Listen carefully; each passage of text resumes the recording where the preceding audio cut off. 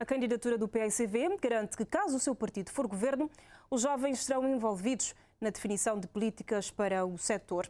A cabeça de lista diz ter encontrado no terreno jovens preocupados com as perspectivas de futuro, situação contra a qual promete lutar no Parlamento.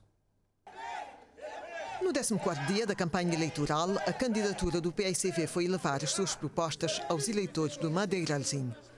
Com passos acelerados, já que os dias vão ficando curtos, a cabeça de lista e sua equipa foram de porta em porta, tentando convencer os eleitores de que o projeto Um Cabo Verde para Todos é a melhor aposta.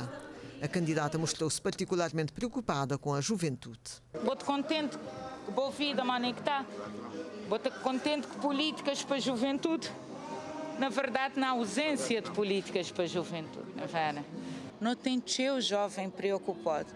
Antes não tínhamos políticas, por exemplo, não tínhamos centros de juventudes que está a visdar a juventude até coordenar e que foi tudo desmantelado ali na São Vicente e que passar para a autarquia. A meu ver, e o que é que não tem da parote na porta a porta é que isto já falta. Porque o que é que isto fazer a autarquia ali, que tem condições de fazer, era bom que estava a casar no sentido de cada um estava a fazer ser parte e jovens todos estavam a ser abrangido. Josina Fortes diz que para o PAICV os jovens não são um problema, mas sim a solução. Daí defender que devem ter uma participação ativa na definição das políticas para o setor. Que essa é uma política que tem que ser feita que diálogo.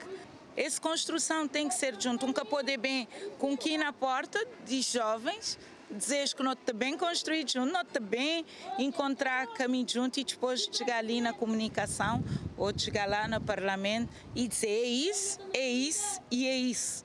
Porque o que não está bem definido para país, talvez está mais além. Graças a Deus, isto é visões cada vez mais para frente, não tem internet eh, que te ajuda a nesse sentido, então não tem que ouvir. Esta quinta-feira a equipa do PICV visita Ribeira Bote e encerra o dia num comício com a líder do partido que estará de visita à ilha.